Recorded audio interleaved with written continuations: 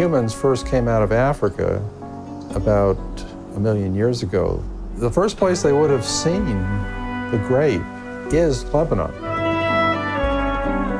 We know that according to some mythology, according to some legends, that Bacchus was the god of wine. In order for something to be great, it had to have life in it. It didn't have to necessarily taste good or taste bad. It was beyond that. It was about was this made with love? Was this made with life? Does it still contain life? Does it inspire you to life? There is no stronger wine than a wine made in a region where there is war.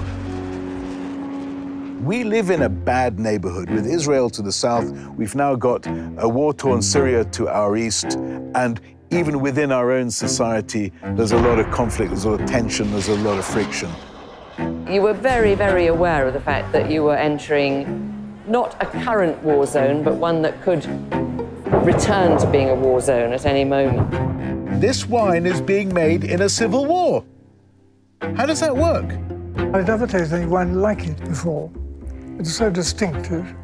And it was not Bordeaux, it was not Burgundy, it was not trying to be anything. When I look at a bottle of wine, it's just grape juice with alcohol. That is what it is.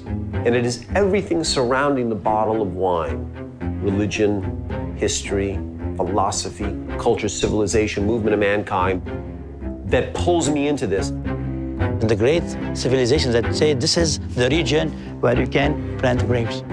This is the Bordeaux of the old world. Refugees. We are not refugees. We're adventurers. We're not refugees. All of this was about this sense of livingness as opposed to being shut down and, and checked out. When you come into the presence of somebody who has rejected that formula and said, You're not the sum of your obligations, you're the sum of your senses.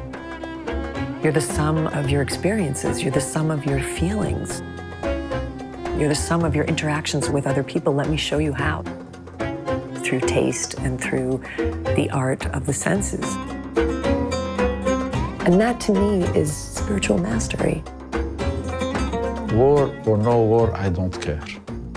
Because grape, yeast does not care about war.